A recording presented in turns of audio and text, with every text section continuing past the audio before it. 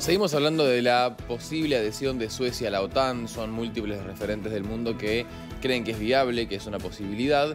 Y recientemente Jens Stoltenberg se ha manifestado al respecto también con un punto de vista positivo, afortunadamente, para este país nórdico que tiene esta intención histórica ¿no? de poder sumarse a este organismo internacional.